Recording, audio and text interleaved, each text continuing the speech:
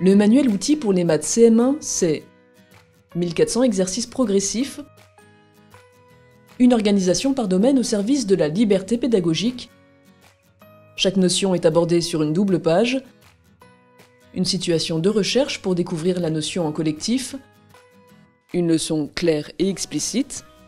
Les exercices et problèmes sont classés par compétences et par niveau de difficulté. Des activités de résolution de problèmes. À chaque fin de domaine, une double page vers le CM2 aborde une notion qui sera étudiée l'année suivante. Et enfin, des pages qui font lien avec d'autres disciplines. Pour l'enseignant, un guide et une banque de 300 ressources. Disponible également en version numérique, attestée sur www.opm.magnard.fr.